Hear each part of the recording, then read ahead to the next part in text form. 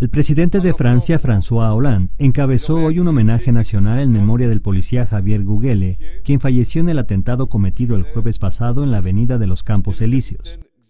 Hollande presidió la ceremonia en el patio de la sede de la prefectura de policía de la capital francesa, donde estuvieron presentes los dos candidatos a sucederle en las elecciones presidenciales del próximo 7 de mayo, el liberal Emmanuel Macron y la ultraderechista Marine Le Pen.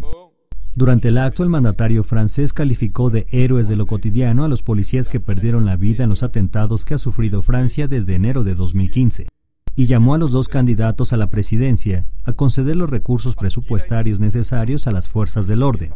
A la ceremonia asistieron familiares del policía fallecido, así como el primer ministro francés Bernard Cazeneuve y el expresidente Nicolas Sarkozy, entre otras personalidades. El agente fue abatido de un disparo por el presunto yihadista Karim Cheroufi, quien hirió a otros dos agentes más y a una turista alemana en el ataque cometido la noche del jueves. Cheroufi fue abatido a su vez por disparos de la policía. Notimex.